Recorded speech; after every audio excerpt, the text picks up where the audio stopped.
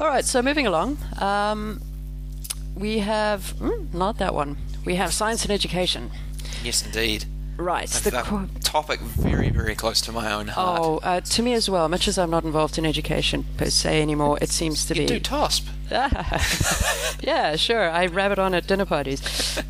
but it's very, very important. So, this question was not only does New Zealand have problems persuading young people to study science at university, it has difficulty persuading graduate researchers to eventually settle in this country. How will your party make science and technology more attractive to students looking ahead to tertiary education, and what can be done to encourage them to work in New Zealand? Going alphabetically again, ACT's core value was um, in, in, primary and secondary education was decentralization. So they essentially say that the, for the vast majority of students, they get forced into one type of school with one type of teaching, one type of curriculum, and one assessment system. And they say that this fails uh, a lot of students a lot of the time. They believe that um, more science friendly, science friendly schools, teachers, and curricula will evolve in a more decentralized system. And so they cite a couple of examples from overseas. They cite a province in Alberta in Canada um, where there are a bunch of different format schools um, that take a different scientific approach to learning. And then essentially they cite that New Zealand faces a problem with providing interesting and well paying jobs, evidenced by the kind of brain drain.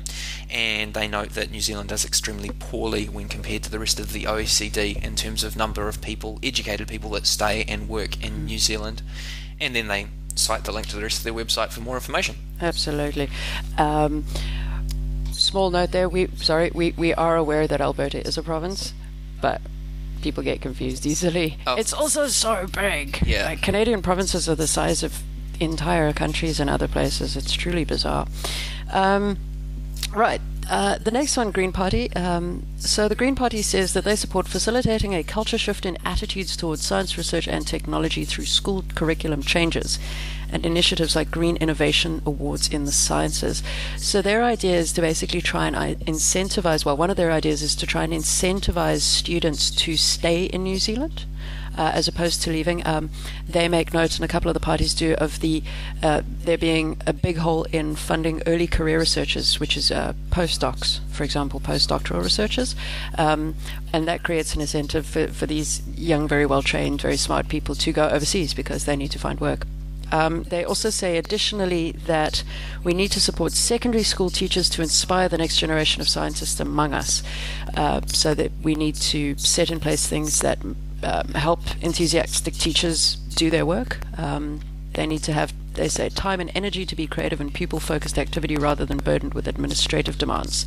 And um, go on to say to address this, we support initiatives like after six years of service, teachers, including early childhood education teachers, will be entitled to a sabbatical leave for one year at 80% of their salary. Ooh, so, a very strong, strong focus there on uh, the teachers as well.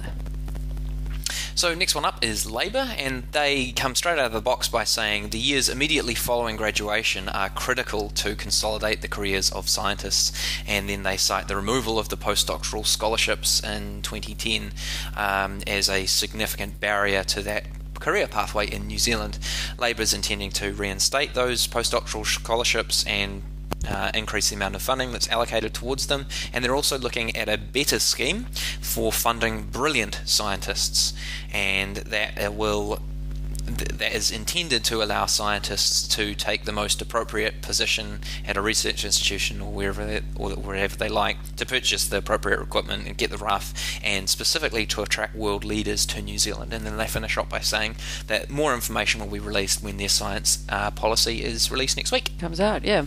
And then National finishes off. Uh, with saying uh, or, or opining that the attraction of science and technology for young people is directly linked to how it fits in with how they see their futures as they say, the more important high technology industries are to our economy, the more people will want to work in the sector. Greater opportunities will lead to greater interest. So they talk about developing vocational pathways for young people, so they can, uh, uh, which will clarify rather an existing array of options, which means that students and families can kind of see the connection between what the students are learning at school and where, what industries it could lead them to, um, and talk about manufacturing and technology being one of those pathways. Uh, these pathways will include things like a career and study map as well well, and also assessment standards valued by the industry in which they're going to end up, or industries in which they're going to end up. Um, they also talked about increasing fundamental and talked about how they have already increased fundamental science funding through the Marsden Fund and uh, Health Research Councils. Uh, they also talk about the Rutherford Discovery Fellowships, which uh, they created, um, which which also give more opportunities for young scientists who are sort of a couple of years into their career to, to do work. And they make mention of the Advanced Technology Institute, which they say will create jobs for around three to four hundred scientists and engineers, and more on that a little bit later. So yeah, this was actually quite nice. There's some decent thought going into a lot of these, and this is just personal, pure opinion because it's straight where I, it directly affects where I am Yeah. at the moment. Um, good science teachers are crucial.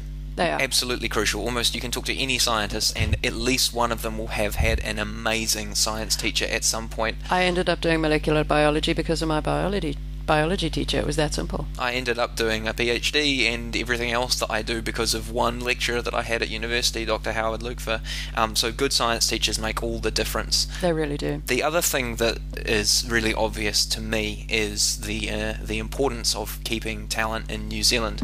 Um, my qualm that none of these responses quite pick up is that people don't necessarily want to go and study science overseas. A lot of them don't go and study overseas because that's where you know need to go to do good science. Because that's not true. You can do world class science here in New Zealand.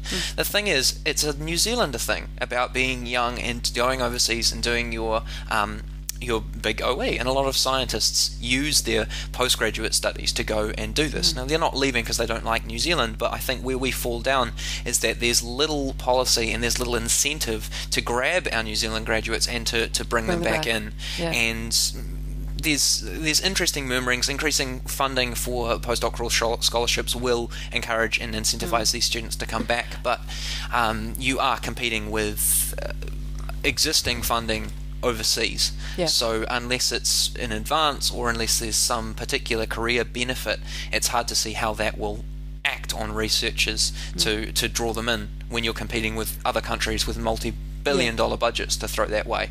Well, or, or attracting great people into the country. And again, this, this is purely anecdotal. And, and but what I've what I've heard from people, uh, particularly in universities all over the country, uh, to a lesser extent CRIs, is that there are many smart young postdocs who would love to come here to work, whether they are Kiwi or or Oh. you know filthy foreigners such as myself. but there is no money available for them because postdocs can be relatively expensive compared to doctoral students, for example, and often a hardcore decision has to be made that we're going to go with the cheapest student who's mm. basically almost as good, but 70% or 30% cheaper. And so there, there doesn't seem necessarily always to be a landing spot of any sort. And once people have established careers overseas where they've gone through postdoc, maybe they've, you know, they're teaching, all of that kind of stuff, then there's very little incentive for them to pick everything up to come back here to a system that is one of the most contestably funded in the world. Hmm. And I mean, as someone that consistently consistently buys cheap consumer electronics, you very quickly realize that at the end of the day, sometimes you just have to fork out for a decent quality product if you want a decent result. Yeah, Um, and true. uh, both to, to for those of you that aren't familiar with the, the funding scheme, so PhD students get paid uh, two thirds to half of what a postdoctoral fellowship will get paid, who get paid a significant fraction less than an actual full time researcher. Yeah. So postdocs are cheap at the price that Yeah. you get them for compared to other researchers as well, but it's an expensive business. It really is. There Um, are no easy easy answers, I don't think. There aren't, but I'm glad that it's being seen that you know postdocs are an intrinsic part of this whole process. Certainly, certainly in academia, and so. You know, it would be good if we could keep some of them in the country. I'm sure Elf is, is really hoping for that once he finishes his PhD. I'm actually hoping the postdocs that I know will stick around because they're so focused, they're so motivated, and they're so great to know. Um, go Misa!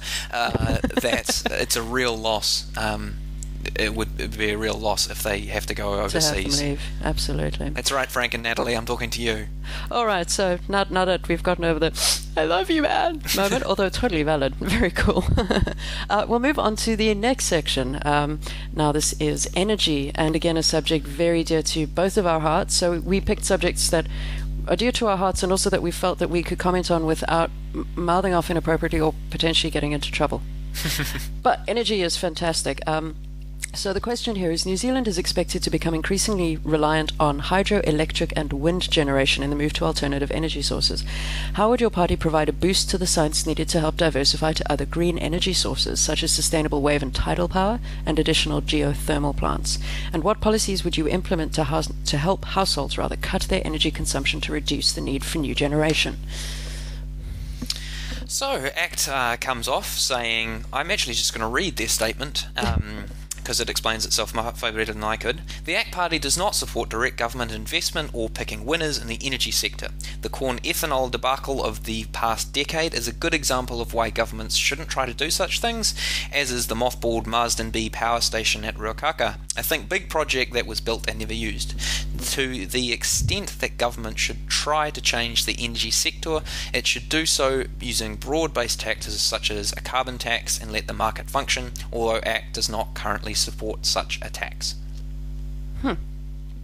Right, moving on to the Greens. Uh, the Greens say that part of their green jobs priority is to leverage the state owned energy companies to generate investment in renewable energy technology. Uh, they make mention of initiatives like a startup capital fund specifically targeted at clean tech opportunities, boosting government funding of R&D by $1 billion over the next three years through tax credits and grants. I can see Elf's eyes stretching. Additionally, strong environmental regulations uh, for more certainty around investment in renewable energy solutions. And then they also talk about the importance of energy efficiency and conservation measures to reduce peak demand. So, this is things like insulation, um, clean heat sources, and implementing a New Zealand energy efficiency and conservation strategy with what, what they refer to as real and achievable targets and milestones to assess progress. They are, for example, very interested in, in things like cars being efficient.